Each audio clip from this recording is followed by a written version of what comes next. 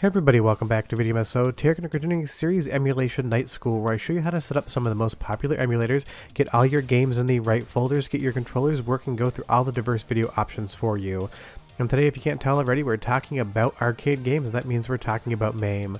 Because I get a lot of comments on different videos where people are having issues setting up certain games in MAME, and I've seen a few Twitter threads recently saying that MAME is not very user-friendly.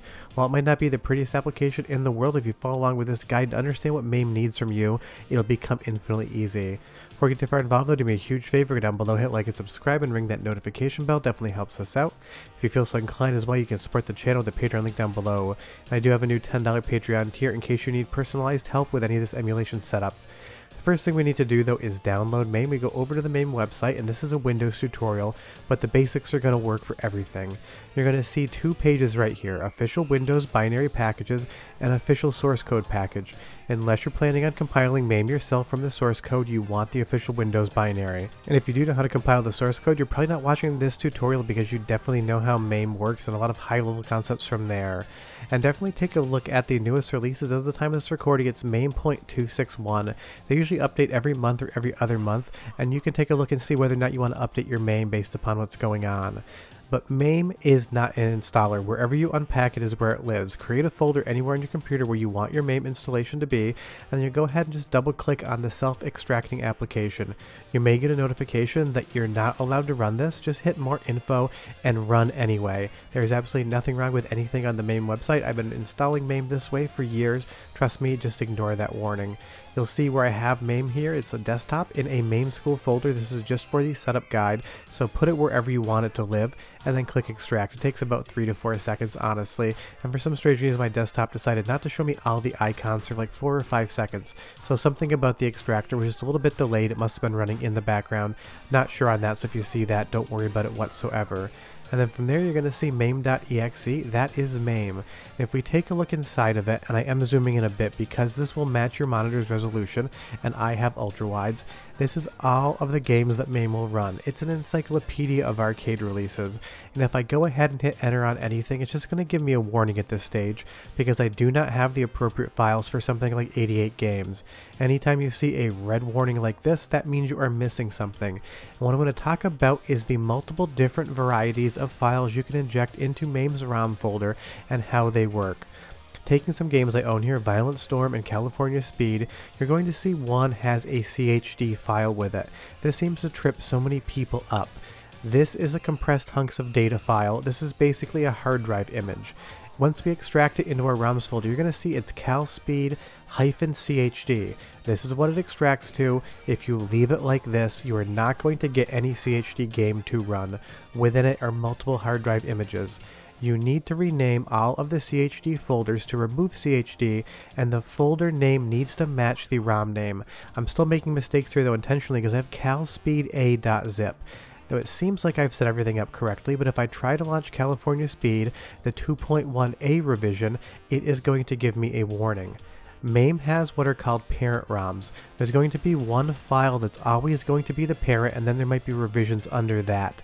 I'm going to show you in just a moment how to find out exactly the files you need because it is important to do research when using MAME. Now you'll see here I have the appropriate zip file calspeed.zip, but I've changed the folder's name to calspeeda because if you got the wrong zip file off the top, you would have renamed the folder for the CHD the same thing. Just go ahead and remove that A just for the example of California Speed. What I want you to understand here is the parent ROM will not have that A, B, or C after it for the most part, and your CHD folder has to match that name. Now when I go back in to MAME and I select the appropriate version of California Speed, the 2.1a revision, and hit enter or any other button, it is going to launch. This is how you know you have the appropriate files. I'm going to show you a website in a couple minutes that will allow you to research what every single game needs file-wise so that you know you have everything set up correctly. Because what MAME will not explain to you is what files go together. Those are in databases of information that are in other places on the internet. But once you get something like this set up, you're going to be able to play those games that need CHD files. Now those might be hard drives, they might be disk images. All CHD is is a compression algorithm to allow for large format storage to be ingested in MAME. Sometimes, like I said, it's a hard drive, other times it could be a DVD-ROM or a CD-ROM. But CHD games seem to throw everybody off. They don't realize that you need to rename the folder to the exact file name as the zip file. So say you had a game called Bob, B-O-B. You have bob.zip and you unpack the CHD zip file, you end up with a bob-chd folder. Just remove the CHD from the folder and as long as bob.zip matches the bob folder, you're gonna be good to go. But something like California Speed here, at least on my system, runs incredibly. But let's talk about how to get your controls set up. You need to plug in your controllers before you launch MAME. It will not look for controllers in my experience unless you have them plugged in before you launch the application. If you want to make sure that everything's working correctly, just hit enter on the controller you want to play around with, and you can push every single button and it will register on screen. Analog values are going to be negatives or pluses, everything else is going to be a 0 or 1 for digital buttons. And if you do that, you're going to be able to control your games, but sometimes you do need to bind controls per game. If you hit the tab button, you'll see you can go to input settings and input assignments to this system. This is going to allow you to bind every single input this arcade board or any other arcade board you're running in MAME supports. Something like the radio here, I've got it bound to keyboard N, but maybe I want to put that on my actual Xbox Series X controller. Just hit enter for whatever you want to rebind, and the screen is going to go blank. From there, press once the button you want, wait a second, and it will rebind your controls. For the most part, MAME is really good at auto binding, but if a game has more inputs than you have buttons, sometimes you have to go in there and toggle things around, and sometimes you have most of your controls on a controller or steering wheel, and a couple of them on the keyboard for extra inputs. But honestly, once you do this part, you're going to be getting the CHD games running. And that's why I started with this first, because they are one of the more complicated things to run on MAME. Every time someone asks me for help because they can't get a game running, 99 out of 100 times it's a CHD game, and it's because they either don't have the CHD file at all, or they did not change the file name of the folder that hyphen CHD, it always unpacks to that, and you absolutely never can use it whatsoever, and that confuses so many people. But now that we've gotten racing on California Speed and we took second place, there's a lot more to learn about MAME, and I'm going through three different types of games here. Let's take a look at something like Violent Storm. Now this is just a ROM. I have the arcade board in my closet. It's just a zip file. So long as the zip file is a good version and it's in the ROMs folder, you're going to be able to play the game no big deal whatsoever. But if you take a look at the screen here, maybe you haven't noticed it yet, but there's something about this image that I don't think is correct, and by default MAME leaves on. No judgments against the MAME team, they are the decision makers and they put it on. I just think we need to turn it off. So if we go back into general settings under video options, by default bilinear filtering is turned on for MAME. I wish this was an off by default and on because you chose to do it. If you want to get those pixel perfect raw chunky pixels coming out of MAME, you want to turn bilinear filtering off because now you can see in Violent Storm everything is blocky and it looks a lot better. That's just how I like to look at my 2D games. I think it's the majority of you would tend to agree, but leave me a comment down below and tell me about that, what your opinion on it is. Now I did move back to the bilinear version here, but I want to talk about how you actually change options. There's multiple ways to change the options on an arcade game and everything does something slightly different. Just be aware that the F2 key button in MAME is going to be your best friend because it is the test menu button. In something like Violent Storm, the game options are going to be in the test menu. There is blood in Violent Storm, but by default it is turned off. You can change the difficulty, add the blood, anything you want. And if you're new to MAME, just remember to hit F2 to see what's in that test menu but some games actually don't use a test menu, they use dip switches, which are changed in a different menu, and I will show you how to do that later on in the video. But you can see here we got blood and we are good to go. Now let's take a look at something like Hyper Neo Geo 64. This is not a CHD program, but it does use a BIOS zip file as well. Now I know that that's the case, I know I need it, but let's remove it from the folder and get it out of the actual ROMs directory and see what happens. This is going to basically break the functionality of Hyper Neo Geo because when MAME goes to look for the BIOS zip file that has all the different diverse BIOS for different regions, it's not going to find it. You're going to get these warnings here, and if you don't know what you're looking for, just Google the file name and you're going to probably find a reference to what you need. I'm going to put the HNG64.zip file back in the Hyper Neo Geo BIOS pack, and then when I go to launch Beastbusters again, it's going to give me a select system BIOS. Here's the thing about MAME, some systems need a BIOS, others do not. It's kind of similar to CHD except there's no folderization and the naming conventions don't matter as far as any folders because they are not involved whatsoever. But now you see we can jump into Beastbuster Second Nightmare on the Hyper Neo Geo 64 in MAME, and this is one of my favorite arcade games of all time. I've got the arcade board in my closet, and for reasons I'm only showing you games in this video that I own and I have in my personal collection. But the fact that Hyper Neo Geo 64 even works this well is down to Mame and his dedication to trying to get this working better. I sent him some footage last year to help better emulate certain things in Buriki 1. I do try to help out the MAME people when I can. Not as smart as they are, but I can lend a hand here and there. And everything looks great except we have green blood, and that is just not going to work for me whatsoever. This is a zombie game, they are exploding blood, and I need that blood to be red. So if you hit F2 again, you're going to get into another test menu. Sometimes in the test menu though, for some strange reason on certain boards, exiting back out to the game just does not work whatsoever. So you go into game options, that's where all the game options for pretty much any board are going to be. Move around whatever you want and then go ahead and hit exit. If you find that you do not get out of the test menu, and if you hit F2 and don't end up out of the test menu from there, I recommend just restarting the core. That is going to save all the settings in my experience and you should be out totally fine. So just hit the tab button again, that's the hot menu for MAME go to select new system, hit enter, it's going to bring you back to the main menu, and just hit enter again and relaunch the game. Now we're into Beastbuster Second Nightmare, and we have that glorious red blood squirting out of the zombies.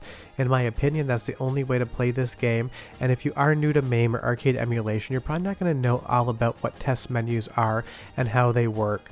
Now as far as what games need BIOS files, I'm going to get to that in a little bit later in the video, but what I want to do now is go over some of the other diverse settings that you need to take a look at when you start. If you double click on general settings, customize UI, honestly there's not much in there for you whatsoever, configure folder should be the same.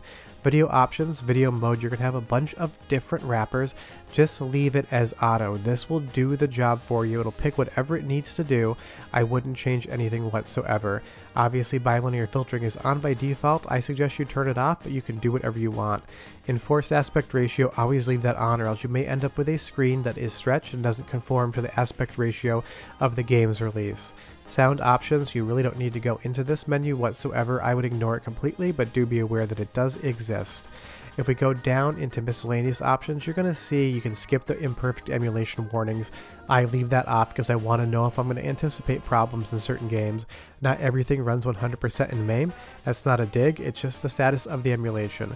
If you want to have cheats, you can turn them on here. You have to find different cheat files and add them later. If you want to see a part 2 on more deeper dives of MAME, leave me a comment down below. Everything else I would just pretty much leave as is. All of these things have been selected for you, and by leaving them as their default setting as you see here, MAME is going to give you the most amount of information MAME is going to give you, which is not always going to be as much as you need. On input device options here, if you do want to play light gun games, you can select a joystick, you can select a light gun, you can select a mouse, which is usually going to be everybody's default. There's different options. If you want to see a light gun specific MAME tutorial, tell me down below as well, because I'm trying not to make this video 30 minutes.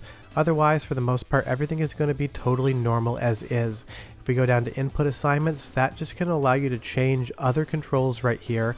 This is what it would bind to by default if you didn't have a controller plugged in, but generally you're going to use an external control device, so you just want to deal with that in the input menu I showed you earlier in the video. There are a ton of inputs and most of them aren't going to be important to you unless it's an edge case scenario. Under advanced options, frame skip, I leave this off. I have a powerful enough computer to be able to run most games at full speed, well pretty much every game at full speed that will run that way, but if you do find that you're having some issues on a game that should run full speed and doesn't on your system, you can turn frame skip on. Otherwise, up here you can do a little bit of a joystick dead zone to allow you to have a little more dead zone in your analog if you so choose. But let's move over to something like Haunted Castle. Not because I think this is a good game, I think it's actually not a very good game whatsoever, But this comes to the third type of game that you're going to be running in MAME. It just uses a zip file, but it does not really have anything in the way of a test menu. Certain games, especially older ones, are going to change all of their settings via dip switches. That would be a package of little tiny switches on the arcade board in and of itself that you would actually have to change with a pen or your fingernail. If you hit tab and go to dip switches, you can adjust the game's difficulty, you can allow yourself to be a stronger or weaker opponent, and you can allow continues up to three times, which is the cruelest thing I think. Be aware that older games use this dip package setting, and 99% of the time it's going to be in the tab menu under dip switches. That's the thing, sometimes it's a test menu, sometimes it's a dip switch, but just be aware that they are there. These are not video games that you buy and put in a console that have an options menu. These are meant just for arcade operators to change in the background so they function in a completely different manner than anything else you've seen before if you're not familiar with arcade emulation. And now that we've made this game easy and made Simon stronger, it is still basically an impossible game to play. It is one of the most difficult things around, but it was one of the first games I remembered using dip switches and something that I thought everyone would be curious to see. Now, if you want to find out what a particular game needs to run, Arcade Italia here has Arcade Database.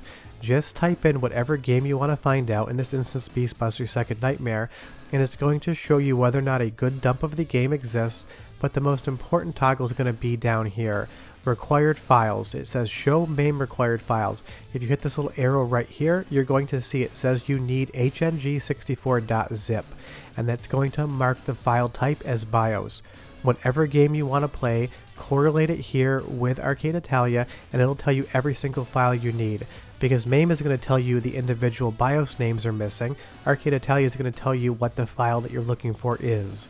But if you follow all of these steps, you're going to be getting CHD games playing in MAME, you're going to be getting normal games playing in MAME, you'll be able to get through the test menu, bind your controllers, and start having fun. But I get it, off the top, MAME can seem like a very daunting program, and I've been using it for years, so if you run into any issues, I got that Patreon link down below. But if you follow this tutorial and use Arcade Italia's website and set everything up the way I showed you, you're going to be enjoying MAME in no time. Hope you enjoyed this, we'll see you for the next tutorial, and I am done. Bye-bye.